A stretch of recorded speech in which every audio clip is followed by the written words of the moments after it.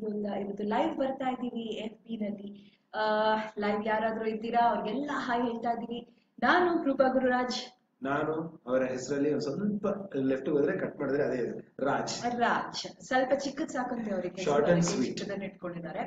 ನಮ್ಮ radio studio ಇಂದ ನಮ್ಮ ರೇಡಿಯೋ ಬಗ್ಗೆ ಒಂದಷ್ಟು ಹೊಸ ಮಾಹಿತಿಗಳನ್ನ ಕೊಡೋದಕ್ಕೆ ನಾವಿವತ್ತು ಇಲ್ಲಿ ಕೂತ್ಕೊಂಡಿದ್ದೀವಿ. ಏನೆಲ್ಲ ಹೊಸ ಮಾಹಿತಿ ಕಾಯ್ತಾ ಇದೆ? ನಿಮಗೋಸ್ಕರ ಏನೆಲ್ಲ ಹೊಸ ಮಾಹಿತಿ ಕೊಡ್ಬೋದು ನಮ್ಮ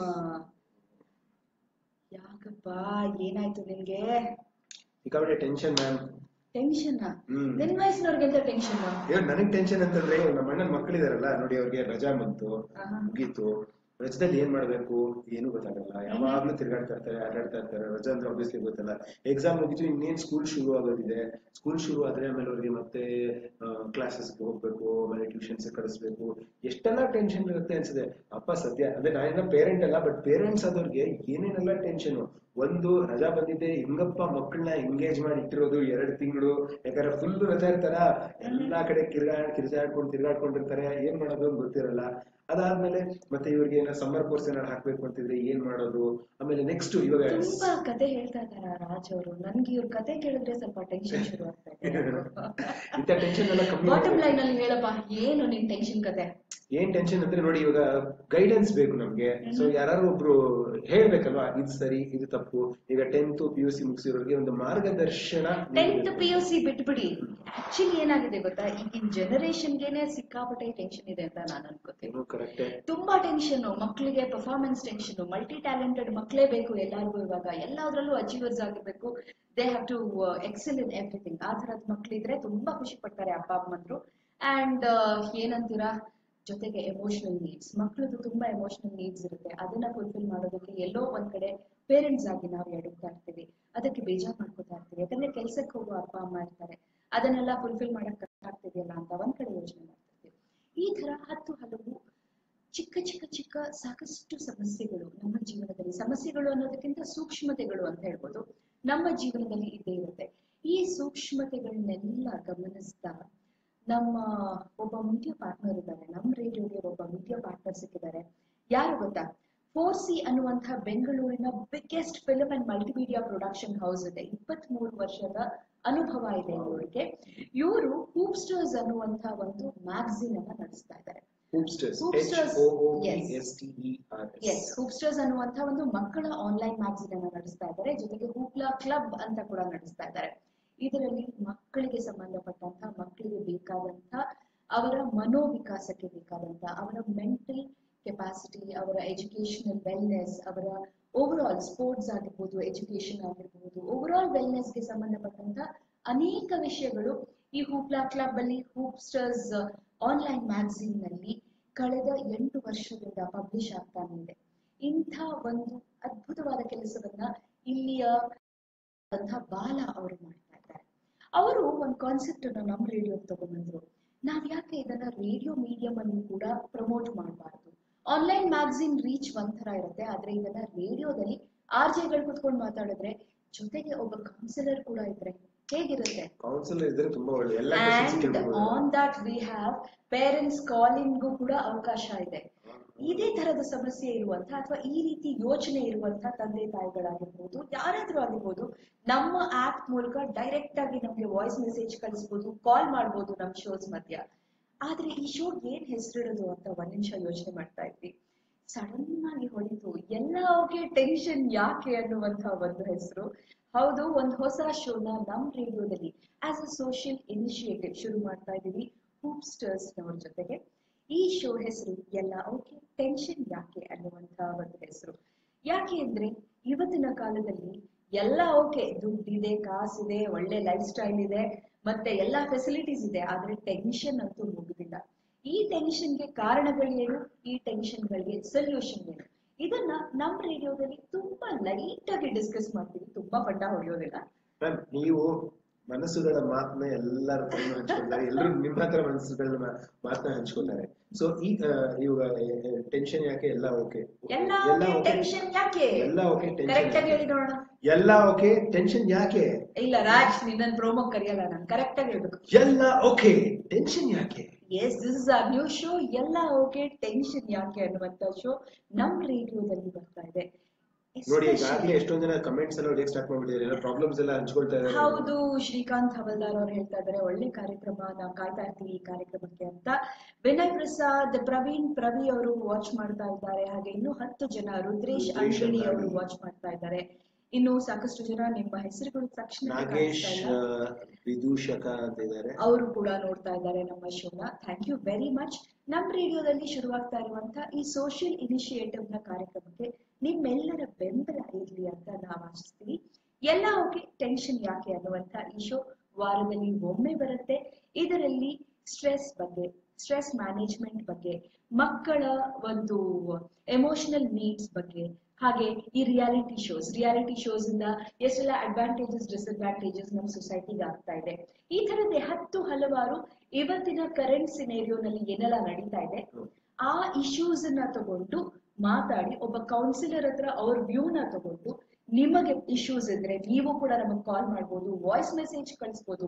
ನಮ್ಮ ಆಪ್ ಇದಕ್ಕೆ ಇವಾಗ ಎಕ್ವಿಪ್ ಆಗಿದೆ ಅಂತ ಕೂಡ ಹೇಳ್ಬೋದು. ನಮ್ಮ ಆಪ್ ಬಗ್ಗೆ ಡೀಟೇಲ್ಸ್ ಕೊಡ್ತೀರಾ? ಕೋರ್ಸ್ ಫೋನ್ ಇದೆಯಾ? ಕೊಡಿ ನೋಡೋಣ. ನಮ್ಮ ಹೊಸ ಆಪ್ನಲ್ಲಿ ಏನೇನ್ ಫೆಸಿಲಿಟಿ ಇದೆ ಅಂತ ನಾನು ತೋರಿಸಿದ್ದಕ್ಕೆ ಸೊ ನಮ್ ರೇಡಿಯೋ ಆಪ್ ನಿಮ್ಮ ಹತ್ರ ಆಲ್ರೆಡಿ ಇದೆ ಫೋನ್ನಲ್ಲಿ ಅಂತಂದ್ರೆ ಅದನ್ನ ಅಪ್ಗ್ರೇಡ್ ಮಾಡ್ಕೋಬೇಕಾಗುತ್ತೆ. ನೀವು ಅಪ್ಗ್ರೇಡ್ ಮಾಡ್ಕೊಂಡ್ರೆ ಲೇಟೆಸ್ಟ್ ವರ್ಷನ್ನಲ್ಲಿ ನಿಮ್ಗೆ ಈ ತರ ಸಿಗತ್ತೆ ನೋಡಿ. ಆಯ್ತಾ? ಸೊ ಇಲ್ಲಿ ನಾಲ್ಕು ಆಪ್ಷನ್ಸ್ ನಿಮ್ಗೆ ಕಾಣಿಸ್ತಾ ಇದೆಯಲ್ಲ?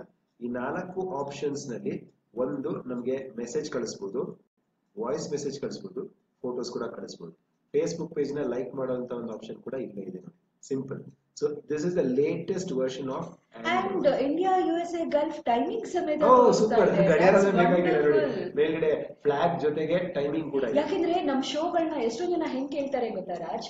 ಅಕಸ್ಮಾತ್ ನನ್ ಸ್ಲೀಪಿಂಗ್ ಪಿಲ್ಸ್ ಶೋ ಮಿಸ್ ಆಯ್ತು ಅಂದ್ರೆ ಮ್ಯಾಮ್ ನಿಮ್ದು ಗಲ್ಫ್ಗೆ ಟೈಮಿಂಗ್ಸ್ ಇಂಡಿಯನ್ ಸ್ಟ್ರೀಮ್ ಟೈಮಿಂಗ್ಸ್ ಒಂದೂವರೆ ಗಂಟೆ ಡಿಫ್ರೆನ್ಸ್ ಅಲ್ವಾ? ಗಲ್ಫ್ ಟೈಮಿಂಗ್ಸ್ ಅಲ್ಲಿ ನಾನು ಕೇಳ್ಕೊತೀನಿ ಅಂತ ಮೆಸೇಜ್ ಹಾಕೋ ತುಂಬಾ ಜನ ಇದ್ದಾರೆ. ಹಾಗೆ U S L stream twelve hours difference approximately ಬರುತ್ತೆ. ಸೊ ಟ್ವೆಲ್ ಅವರ್ಸ್ ಡಿಫ್ರೆನ್ಸ್ ಅಲ್ಲಿ ಮಿಸ್ ಆದ ಶೋನ ಕೇಳುವಂತ ಅನೇಕ ಸ್ನೇಹಿತರಿದ್ದಾರೆ. ಸೊ ಟೈಮಿಂಗ್ ಸಮೇತ ನಮ್ಮ ಆಪ್ ಅಲ್ಲಿ ಡೀಟೇಲ್ಸ್ ಬರ್ತಾ ಇದೆ. ನೋಡಿ ನಮ್ಮ ಈ ಕಾರ್ಯಕ್ರಮಗಳಿಗೆ, ನಮ್ಮ ಎಲ್ಲ ಇನಿಷಿಯೇಟಿವ್ಸ್ಗೆ ನಿಮ್ಮ ಸಹಾಯ, ನಿಮ್ಮ ಎಲ್ಲ ಅಭಿಪ್ರಾಯಗಳು ಇರಲಿ ಅನ್ನೋದು ನಮ್ಮ ಹಾರೈಕೆ ನೋಡಿ, ಬೆಂಬಲ ಅಂದಿದೆ ಅಲ್ಲಿ ಎಷ್ಟೋ ಜನ ಕಮೆಂಟ್ಸ್ ಮಾಡಿದ್ದಾರೆ ನಂದಿ ಜೆ ಹೂವಿನ ಹೊಳೆ, ಒಳ್ಳೆ ಪ್ರಯತ್ನ ಇದರಲ್ಲಿ ತಂದು ತಂದ ಶುಭ ತಂದದಕ್ಕೆ ಶುಭಾಶಯ, ಶುಭಾಶಯಗಳು. ವಿನಯ್ ಪ್ರಸಾದ್ ರೂಪಾ ಅವರೇ ನಿಮ್ಮ ಅಚ್ಚ ಕನ್ನಡ ಮತ್ತು quality is awesome recently I was in ಚೌಡೆಯ Kannada songs program to keep it up thank you very much Vinay ಅವರೇ. ತುಂಬಾ ಸಂತೋಷ ಆಯ್ತು ಚೌಡಯ್ಯದಲ್ಲಿ ನನ್ನ ಕಾರ್ಯಕ್ರಮದಲ್ಲಿ ನಮ್ಮ ಕಾರ್ಯಕ್ರಮ ಅಂತ ಹೇಳ್ಬೋದು. ನಮ್ಮ ಕನ್ನಡ ಹಾಡುಗಳು ಕಾರ್ಯಕ್ರಮದಲ್ಲಿ ನೀವಿದ್ರಿ ಅಂತ ಕೇಳಿ ಅಲ್ಲಿದ್ದಾಗ ಖಂಡಿತ ಆ ರೀತಿ ನಾನ್ ಕಾಣಿಸಿದ್ರೆ ಹತ್ರ ಬಂದು ಒಂದ್ ಹೆಲೋ ಅಂತ ಹೇಳಿ ನಾವು ನಮ್ ರೇಡಿಯೋ ಕೇಳ್ತೀವಿ ಅಂತ ಹೇಳಿ ಒಂದ್ ಸೆಲ್ಫಿ ತೆಕ್ಕೊಳ್ಳಿ ಅದನ್ನ ನಮ್ ವಾಲ್ ಮೇಲೆ ಹಾಕ್ತಿವಿ. ಏನ್ರಿ ಎಂತ ಆಪರ್ಚುನಿಟಿ ಮಿಸ್ ಮಾಡ್ಬಿಟ್ರಿ. ನನ್ಗೊಂದ್ ಸೆಲ್ಫಿ ಸಿಕ್ತಿತ್ತಾ ನಿಮ್ದು? ನೋಡಿ ಅಚ್ಚ ಸ್ವಚ್ಛ ಕನ್ನಡ ಮಾತಾಡೋದಕ್ಕೆ ರೂಪ ಮೇಡಮ್ ನಮ್ಮ ಪಕ್ಕದಲ್ಲಿ ಇರೋದು ಸೊ ಅದಕ್ಕೆ ಎಲ್ಲ ನಿಧಾನಕ್ಕೆ ರಾಜ್ ಕಿವಿ ಹಿಂಡಿ ನಾವು ಕನ್ನಡ ಕಲಿಸ್ತಾ ಇದೀವಿ ಅಕಸ್ಮಾತ್ ನಿಮ್ಗೆ ಏನಾದ್ರೂ ರಾಜ್ ಇಂಗ್ಲಿಷ್ ಪದಗಳು ಕಾಣಿಸಿದ್ರೆ ತಕ್ಷಣ ಹೇಳಿ ಅಲ್ಲೇ ಕನ್ನಡ ಮ್ಯಾಮ್ ಏನ್ ಗೊತ್ತಾ? ಆಲ್ಟರ್ನೇಟಿವ್ ಆಕ್ಚುಲಿ ನಮ್ಮ ನಮ್ ರೇಡಿಯೋ ಇದೆಯಲ್ಲ ಇಂಟರ್ನ್ಯಾಷನಲ್ ರೇಡಿಯೋ ಸ್ಟೇಷನ್ ಸೊ ನನಗೊಂದ್ಸತಿ ಮೆಸೇಜ್ ಬಂದಿತ್ತು. ಸೊ ಇವಾಗ ಅಬ್ರಾಡ್ ಅಲ್ಲಿ ಎಷ್ಟೊಂದ್ ಜನ ಇದ್ದಾರೆ ನೋಡಿ ಎಷ್ಟೊಂದು ಆಕ್ಚುಲಿ ಸೋಗಳು ಬರ್ತಾ ಇದೆ ಓಕೆ ಫುಲ್ ಕನ್ನಡದಲ್ಲಿ ಮಾತಾಡೋದು ಸ್ವಲ್ಪ ಕಷ್ಟ ಆಗುತ್ತೆ. ಇವತ್ತು ಮಾಡಿಸ್ತೀವಿ ಓಕೆ ಸೊ ಏನಂತಂದ್ರೆ ಇದು ನನ್ನ ನನ್ನ ಸಮಸ್ಯೆ ಮಾತ್ರ ಅಲ್ಲ. ಅಂದ್ರೆ ಹೊರಗಿನ ದೇಶಕ್ಕೆ ಹೋದಂತ ಕನ್ನಡಿಗರ ಸಮಸ್ಯೆ. ಯಾಕಂದ್ರೆ ನನ್ಗೆ ಎಷ್ಟೊಂದ್ ಜನ ಸ್ನೇಹಿತರಿದ್ದಾರೆ. ಸ್ನೇಹಿತರೆಲ್ಲ ಅಮೆರಿಕಾದಲ್ಲಿದ್ದಾರೆ. ಅವರ ಮಕ್ಕಳು ಅವ್ರು ಬೆಳೀತಾ ಇದ್ರಲ್ಲ ಅವ್ರಿಗೆ ಕನ್ನಡ ಮಾತಾಡೋದಕ್ಕೆ ಬರುತ್ತೆ. ಆದ್ರೆ ಕನ್ನಡ ಪದಗಳು ಓದಕ್ ಬರೋದಿಲ್ಲ ಅಂತ ಹೇಳಿದ್ರು. ಸೊ ಅದಕ್ಕೆ ಫೇಸ್ಬುಕ್ ನಲ್ಲೂ ಅಷ್ಟೇ please put it in English so that we can understand what it ಆ ತರ ಆ ತರದ್ದು ಕೆಲವು ಸೂಕ್ಷ್ಮತೆಗಳಿದ್ದಾವೆ. ಯಾಕಂದ್ರೆ ಒಂದ್ ಇಂಟರ್ನ್ಯಾಷನಲ್ ರೇಡಿಯೋ ಫಾರ್ಮ್ಯಾಟ್ ಆದ್ರಿಂದ ನಾವು ಎಲ್ಲರಿಗೂ ತಲುಪುವ ಹಾಗಾಗ್ಲಿ ಅನ್ನೋ ಒಂದೇ ಕಾರಣಕ್ಕೆ ಒಂದಷ್ಟು ಅಲ್ಲಲ್ಲಿ ಇಂಗ್ಲಿಷ್ನ ಒಗ್ಗರಣೆ ಹಾಕ್ತಾ ಇರ್ತೀವಿ. ದಯವಿಟ್ಟು ಅದು ಚಂದ ಅಂತ ಅನ್ಸಿದ್ರೆ ತಡ್ಕೊಂಬಿಡಿ. ಚಂದ ಅಲ್ಲ ಅನ್ಸಿದ್ರೆ ಅವಾಗ ಅವಾಗ ಸಹಿಸ್ಕೊಂಬಿಡಿ. ಇನ್ನೇನು ಮಾಡಕ್ಕಾಗಲ್ಲ. ಆದ್ರೆ ನನ್ನ ಕಡೆಯಿಂದ ಪೂರ್ತಿ ಕನ್ನಡ ಮಾತಾಡೋ ಪ್ರಯತ್ನ ಅಂತೂ ಖಂಡಿತ ನಾನ್ ಮಾಡ್ತೀನಿ. ಆಕ್ಚುಲಿ ನನ್ನ ಪೂರ್ತಿ ಕನ್ನಡ ಮಾತಾಡೋ ಪ್ರಯತ್ನ ಅಂತ ಮಾಡೋ ಅವಶ್ಯಕತೆ ಇಲ್ಲ ಅಂತ ಅನ್ಸುತ್ತೆ. ಯಾಕಂದ್ರೆ ಕನ್ನಡನೇ ಮಾತಾಡಿರೋದು ಕನ್ನಡನೇ ಮಾತಾಡ್ತಾ ಬೆಳ್ಕೊಂಡ್ ಬಂದಿರೋದು. Kannada ಗೊತ್ತಿರೋದಕ್ಕೆ actually Kannada radio station first ಕೆಲಸ ಸಿಕ್ಕಿದ್ದು. ಅದಾದ್ಮೇಲೆ ಹಿಂದಿ ರೇಡಿಯೋ ಸ್ಟೇಷನ್ ಸೇರಿದೆ ಮತ್ತೆ ವಾಪಸ್ back to Kannada. And but is time ಕನ್ನಡನ ನಾವು ಅಂತಾರಾಷ್ಟ್ರೀಯ ಮಟ್ಟಕ್ಕೆ ತಗೊಂಡು ಹೋಗ್ತಾ ಇದೀವಿ. ಅಂದ್ರೆ ಇಡೀ ಜಗತ್ನಲ್ಲಿ ಕನ್ನಡನ ಪಸರಿಸಬೇಕು. ಎಲ್ಲೆಲ್ಲಿ ಕನ್ನಡಿಗರಿದಾರೋ ಆ, ತುಂಬಾ ಜನಕ್ಕೆ ಗೊತ್ತಿರತ್ತೆ ಕನ್ನಡಿಗರು ನಾವು ಎಲ್ಲರೂ ಒಂಥರ ಸ್ವಲ್ಪ ಕಾನ್ಶಿಯಸ್ ಅಬೌಟ್ ಆರ್ ಇದು. ಹೌ ಹಾಯ್ ಹಲೋ ಅಂತ ಯಾಕಂದ್ರೆ ಎಜುಕೇಶನಲ್ ಲೆವೆಲ್ ಆ ತರ ಇರುತ್ತೆ. ನಾವು ಎಲ್ಲೇ ಹೋದ್ರು ಸ್ವಲ್ಪ ಇಂಗ್ಲಿಷ್ ಬಳಕೆ ಜಾಸ್ತಿ ಅಂತೂ ಇಂಗ್ಲಿಷ್ ಇಂಗ್ಲಿಷ್ಗೆ ಸಾಕಷ್ಟು ಸಮಜಾಯಿಷಿ ಕೊಟ್ಕೋತಾ ಇದ್ದಾರೆ ನಮ್ಮ ರಾಜ್ ಅವರು. ಯಾಕೆ ಇಂಗ್ಲಿಷ್ ಮಾತಾಡ್ಬೇಕು ಅಂತ? ನಾನ್ ನಿಮ್ಗೆ ಯಾಕೆ ಕನ್ನಡ ಮಾತಾಡ್ಬೇಕು ಅಂತ ನೆಕ್ಸ್ಟ್ ಇನ್ನೊಂದು ಕ್ಲಾಸ್ ತಗೋತೀನಿ. ಜೆರಾಲ್ಡ್ ಡಿಸೋಸ್ ಅವರು ಮೆಸೇಜ್ ಕಳ್ಸಿದ್ದಾರೆ ದೋಹಾ ಕದರಿಂದ. ನಿಮ್ಮನ್ನು ನೋಡೋದಕ್ಕೆ ತುಂಬಾ ಖುಷಿ ಆಗ್ತಿದೆ ಅಂತ. ಹಾಯ್ ಜೆರಾಲ್ಡ್ ಐ ರಿಮೆಂಬರ್ ನಿಮ್ಮನ್ನ ಭೇಟಿ ಮಾಡಿದ್ದು ನೆನಪಿದೆ ನನಗೆ. ಥ್ಯಾಂಕ್ ಯು ವೆರಿ ಮಚ್ ನಿಮ್ಮ ಈ ಮೆಸೇಜ್ಗಾಗಿ and always stay connected Narasimha Murthy ಅವರು ಮೆಸೇಜ್ ಕಳಿಸಿದ್ದಾರೆ. ಅನಿತಾ ಗೌಡರ್ ಅವರು ಕೂಡ ಮೆಸೇಜ್ ಕಳಿಸಿದ್ದಾರೆ. ಮಹೇಶ್ ಗೌಡ ವಿನಯ್ ಪ್ರಸಾದ್ ಕೃಷ್ಣ ಪ್ರಸಾದ್ ನಂದಿ ಅವರ ಹೆಸರನ್ನು ಓದಿದ್ವಿ ಅನ್ಕೋತೀನಿ. ರುದ್ರೇಶ್ ಅಂಗಡಿ ಅವರು ಕೂಡ ಮೆಸೇಜ್ ಅನ್ನು ಕಳಿಸಿದ್ದಾರೆ. ಥ್ಯಾಂಕ್ ಯು ವೆರಿ ಮಚ್ ಹಾಗೆ ಇವತ್ತು ಇನ್ನೊಂದು ತುಂಬಾ ಖುಷಿಯಾದ ವಿಚಾರವನ್ನ ನಿಮ್ ಜೊತೆ ಹಂಚ್ಕೋಬೇಕು. ದಾದಾ ಸಾಹೇಬ್ ಫಾಲ್ಕೆ ಪ್ರಶಸ್ತಿ ಸಿಕ್ಕಿದೆ. ಸಾಹೇಬ್ ಫಾಲ್ಕೆ ಫಿಲ್ಮ್ ಫೌಂಡೇಶನ್ ಪ್ರಶಸ್ತಿ. ದಾದಾ ಸಾಹೇಬ್ ಫಾಲ್ಕೆ ಪ್ರಶಸ್ತಿಗೂ ದಾದಾ ಸಾಹೇಬ್ ಫಾಲ್ಕೆ ಫಿಲ್ಮ್ ಫೌಂಡೇಶನ್ ಪ್ರಶಸ್ತಿಗೂ ಸ್ವಲ್ಪ ಡಿಫ್ರೆನ್ಸ್ ಇದೆ. ಯಾಕೋ ಕನ್ಫ್ಯೂಷನ್ ಆಗ್ತದೆ ಮ್ಯಾಮ್ ಸ್ವಲ್ಪ ಕ್ಲಿಯರ್ ಆಗಿ ಹೇಳಿ ನನಗೆ ಸೊ ನಮ್ಮ ಕನ್ನಡ ಚಿತ್ರರಂಗದ ದಿಗ್ಗಜರು ಅಂತ ಹೇಳಬೇಕು. ಇವ್ರಿಗೆ Dada sir Shri S K Bhagwan ಅವರಿಗೆ ದಾದಾ ಸಾಹೇಬ್ ಫಾಲ್ಕೆ ಫಿಲಂ ಫೌಂಡೇಶನ್ ಪ್ರಶಸ್ತಿ ಬಂದಿದೆ ಈ ದಾದಾ ಸಾಹೇಬ್- ಫಾಲ್ಕೆ ಫಿಲಂ ಫೌಂಡೇಶನ್ ಪ್ರಶಸ್ತಿ ನಮ್ಮ ದಾದಾ ಸಾಹೇಬ್ ಫಾಲ್ಕೆ ಪ್ರಶಸ್ತಿಗಿಂತ ಸ್ವಲ್ಪ ವಿಭಿನ್ನವಾದದ್ದು. ಇದನ್ನ ಮೂರು ವರ್ಷದಿಂದ ಸ್ಥಾಪಿಸಿದ್ದಾರೆ. ಈ ಪ್ರಶಸ್ತಿಯನ್ನ ಮುಂಬೈನಲ್ಲಿ ಕೊಡಲಾಗುತ್ತೆ. ಅಂದ್ರೆ ಜೂನ್ ಒಂದನೇ ತಾರೀಕು ಈ ಪ್ರಶಸ್ತಿಯನ್ನ ಕೊಡ್ತಾರೆ. ನಮ್ಮ ಎಸ್ ಕೆ ಭಗವಾನ್ ನಮ್ಮ very famous director S K Bhagwan ಅವ್ರ ಬಗ್ಗೆ ಯಾರಿಗ್ ಗೊತ್ತಿಲ್ಲ ಅಲ್ವಾ? ಇವರು ನಮ್ಮ ಕನ್ನಡದಲ್ಲಿ ಸರಿ ಸುಮಾರು ಅರವತ್ತೈದು ವರ್ಷದ ಸುದೀರ್ಘ ಸಲ್ಲಿಸಿದ್ದಾರೆ. ಅರವತ್ತೈದು ವರ್ಷಗಳಿಂದ ಕನ್ನಡ ಚಿತ್ರರಂಗಕ್ಕಾಗಿ ಇವರು ದುಡಿದಿದ್ದಾರೆ. ಇವರು ತೆಗೆದಿರುವಂತಹ ಚಿತ್ರಗಳು ಎಂತೆಂತವು ಗೊತ್ತಾ? ನಮ್ಮ ಎಫ್ ಬಿ ಲೈವ್ ವಾಚ್ ಮಾಡ್ತಾ ಇರೋರು ಯಾರಾದ್ರೂ ಅವರ ಚಿತ್ರಗಳ ಹೆಸರನ್ನ ಹೇಳ್ತೀರಾ? ಹೇಳಿ. ಭಾಗ್ಯವಂತರು ಆಯ್ತು. ನಾನು ಆಕ್ಚುಲಿ ಅವ್ರನ್ನ ಮೀಟ್ ಮಾಡಿದೆ ಎಲ್ಲಿ ಗೊತ್ತಾ? ಆದರ್ಶ ಫಿಲ್ಮ್ ಇನ್ಸ್ಟಿಟ್ಯೂಟ್ನಲ್ಲಿ ನಾನು ಕೋರ್ಸ್ ಸೇರಕ್ಕೆ ಅಂತ ಹೋಗಿದ್ದೆ. ನಾನು ಕೂಡ ಆಕ್ಟರ್ ಆಗೋಣ ಫಿಲ್ಮ್ ಮೇಲೆ ಆಕ್ಟ್ ಮಾಡೋಣ ಅಂತ ಅನ್ಕೊಂಡು ಹೋಗಿದ್ದೆ ಅವಾಗ ಅಲ್ಲಿ ಸಿಕ್ಕಿದ್ರು ಆದರ್ಶ ಫಿಲ್ಮ್ ಇನ್ಸ್ಟಿಟ್ಯೂಟ್ ಕಾಕ್ಸ್ಟೌನ್ನಲ್ಲಿ ನೇತಾಜಿ ನಡೆದಿರೋದು. ಸೊ ಅವಾಗ ಅವ್ರನ್ನ ಮೀಟ್ ಮಾಡಿ ಇಂಟರ್ವ್ಯೂ ಮಾಡಿರುವಂತಹ ಒಂದು ಅವಕಾಶ ನಮ್ಗಿದೆ.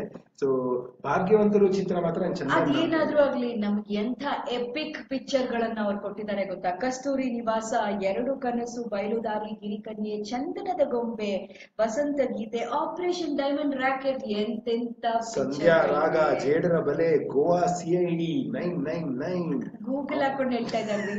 ಬಹಳ ಮೋಸ ಮಾಡ್ತಾ ಇದ್ದಾರೆ ಇವರು. ಗೂಗಲ್ ಹಾಕೊಂಡು ಹೇಳ್ತಾ ಇದ್ದಾರೆ. ಬಟ್ ಅಲ್ಲ ಯಾರ್ ತಾನೇ ಭಾಗ್ಯವಂತರು ನೋಡಲ್ಲ ಯಾರ್ ತಾನೇ ಕಸ್ತೂರಿ ಹೆಸರು ಟಕ್ಕಂತ ಮೇ ಬಿ ಮೈಂಡ್ ಬಂದಿದ್ದೀರ ಇರ್ಬೋದು. ಅದ್ಭುತವಾದ ಅದ್ಭುತವಾದ ನಿರ್ದೇಶಕ ನಮ್ಮ ಕನ್ನಡ ಚಿತ್ರರಂಗ ಕಂಡಂತ ಒಬ್ಬ ಮಹಾನ್ ನಿರ್ದೇಶಕ ಇವರು ಅಂತ ಹೇಳ್ಬೋದು.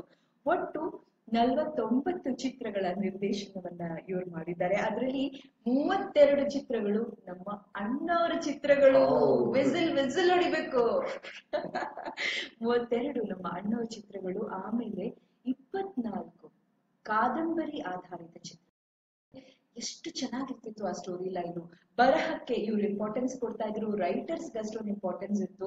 ನಾವೆಲ್ ಬೇಸ್ಡ್ ಮೂವೀಸ್ ಅನ್ನ ಇವ್ರು ತೆಗೆದಿದ್ದಾರೆ. ಇಪ್ಪತ್ನಾಲ್ಕು ಕಾದಂಬರಿ ಆಧಾರಿತ ಚಿತ್ರಗಳನ್ನ ಇವ್ರು ತೆಗೆದಿದ್ದಾರೆ. ಬಹುಶಃ ಈಗಿನ ಫಿಲಂ ಮೇಕರ್ಸ್ಗೆ ಒಂದು ಸ್ಮಾಲ್ ಟಿಪ್ ಸಕ್ಸಸ್ಫುಲ್ ಆಗ್ಬೇಕಾ? ಒಂದಷ್ಟು ಕಥೆ ಪೂರ್ಣ ಇರುವಂತಹ ಚಿತ್ರಗಳನ್ನ ತೆಗಿರಿ ಖಂಡಿತ. ಸಾಬೀತು ಮಾಡಿರುವಂತಹ ಒಂದು ಇದು ಅನ್ಸುತ್ತೆ. ಕಾದಂಬರಿ ಆಧಾರಿತ ಚಿತ್ರಗಳು ಯಾವಾಗ್ಲೂ ಜನರ ಮನಸ್ಸಲ್ಲಿ ನೈಜ ಘಟನೆಗಳಾಗಿರ್ಬೇಕು ಕಾದಂಬರಿ ಕಾದಂಬರಿಗಳಾಗಿರ್ಬೇಕು. ಯಾವತ್ತೂ ಅಷ್ಟೇ ಒಂದು ಚಲನಚಿತ್ರಕ್ಕೆ ಹೀರೋ ಅದರ ಚಿತ್ರಕಥೆ ಅನ್ನೋದು ನನ್ನ ಅನಿಸಿಕೆ ಯಾವತ್ತಿದ್ರು. ದೊರೈ ಭಗವಾನ್ ಖ್ಯಾತಿಯ ನಮ್ಮ ಎಸ್ ಕೆ ಭಗವಾನ್ ಅವರಿಗೆ ದಾದಾ ಸಾಹೇಬ್ ಫಾಲ್ಕೆ ಫಿಲಂ ಫೌಂಡೇಶನ್ ಪ್ರಶಸ್ತಿ ಬಂದಿದೆ. ಜೂನ್ ಒಂದನೇ ತಾರೀಕು ಇದನ್ನ ಅವ್ರು ಪಡೆಯೋದಕ್ಕೋಸ್ಕರ ಮುಂಬೈಗೆ ಹಾರಲಿದ್ದಾರೆ. ಅವರಿಗೆ ನಮ್ಮ, ನಮ್ ರೇಡಿಯೋ ಬಳಗದ ಪರವಾಗಿ ಹಾಗೆ ಎಲ್ಲ ಕನ್ನಡಿಗರ ಪರವಾಗಿ ಒಂದು ಹಾರ್ದಿಕ ಅಭಿನಂದನೆಯನ್ನ ಈ ಎಫ್ ಪಿ ಲೈವ್ ಮೂಲಕ ತಿಳಿಸೋ ಪ್ರಯತ್ನ ನಾನು ಮತ್ತೆ ರಾಜ್ ಮಾಡ್ತಾ ಇದ್ದೀನಿ.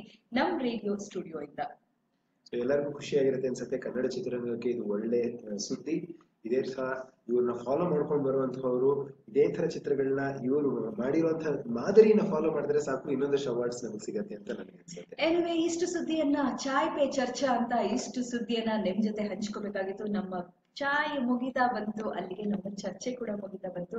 ಆಗಾಗ ವಾರಕ್ಕೊಂದ್ಸತಿ ಹಿಂಗೆ ನಮ್ಮ ಆಚೆ ಕುತ್ಕೊಂಡು ಚಾಯ್ ಪೇ ಚರ್ಚಾ ಮಾಡ್ತೀವಿ. ಅಂದ್ರೆ ಕಾಫಿ ವಿತ್ ಕಣ್ಣನ್ ಸರ್ ಬೇರೆ ಅದು ಬೆಳಗ್ಗೆದು ಸಂಜೆ ನಾವು ಚಾಯ್ ಅಂತ ಅವ್ರ ಜೊತೆ ಕಂಪೀಟ್ ಮಾಡಕ್ಕಾಗಲ್ಲ. ಅವ್ರ ಜೊತೆ ನಾವು ಕಂಪ್ಲೀಟ್ ಮಾಡಕ್ಕಾಗತ್ತಾ? ಕಾಫಿ ಅಂದ್ರೆ ಕಣ್ಣನ್ ಕಣ್ಣನ್ ಅಂದ್ರೆ ಕಾಫಿ. ಆಯ್ತು ನಾವು ಚಾಯ್ ನಲ್ಲೇ ಇರೋಣ ಬಿಡಪ್ಪ.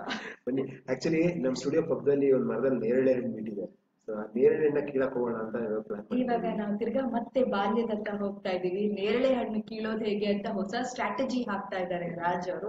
ನೆಕ್ಸ್ಟ್ ಬಿಟ್ರೆ ಅದನ್ನು ಎಫ್ ಬಿ ಲೈವ್ ಅಲ್ಲಿ ಹಾಕಿ ತೋರಿಸ್ಬಿಡ್ತಾರೆ. ನೀವ್ ಹೇಳಿದ್ ಸಾಕಷ್ಟೇ. ಇವಾಗ ಗ್ಯಾರಂಟಿ ಒಂದು ವಿಡಿಯೋ ಮಾಡಿ ಹಾಕೇ ಆಗೋಣ ನೇರಳೆ ಮರ ಅಂದ್ರೆ ಹೆಂಗಿರುತ್ತೆ? ನೇರಳೆ ಹಣ್ಣು ಕೀಳೋದು ಹೇಗೆ? ನಿಮಗೆ ಬೇಕಾ? ಇವಾಗ ಎಸ್ ಬಿ ನೋಡ್ತಾ ಇರೋ ಎಷ್ಟೊಂದ್ ಜನ ಮರನೇ ಹತ್ತಿರೋದಿಲ್ಲ ಆಯ್ತಾ? ಅದೇ ಹೇಳಿದ್ದು. ನೇರಳೆ ಮರ ಅಂದ್ರೆ ಹೇಗಿರುತ್ತೆ? ನೇರಳೆ ಮರದಲ್ಲಿ ನೇರಳೆ ಹಣ್ಣು ಕೀಳೋದು ಹೇಗೆ? ಇದರ ಬಗ್ಗೆ ಒಂದು ಲೈವ್ ಡೆಮೋ ನಮ್ಮ ರಾಜ್ ಕೊಡ್ತಾ ಇದ್ದಾರಂತೆ ದಯವಿಟ್ಟು ಫಾಲೋ ಮಾಡಿ ನಮ್ ರೇಡಿಯೋನ ಕೇಳ್ತಾ ಇರಿ ನಮ್ ರೇಡಿಯೋ ಯಾಕೆಂದ್ರೆ ಕನ್ನಡ ಕೇಳೋ ಮಾಡಿ. ಥ್ಯಾಂಕ್ ಯು ಫಾರ್ ವಾಚಿಂಗ್ ಧನ್ಯವಾದ.